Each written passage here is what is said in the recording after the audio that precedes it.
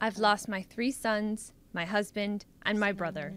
My sons were not married, and I didn't have any daughters, so now I don't have anyone left.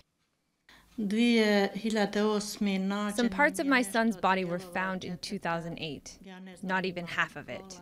Čekala sam da se još nađe. I've been waiting since 2008, hoping that more remains would be found, but nothing. I have now decided to bury the little remains that we have.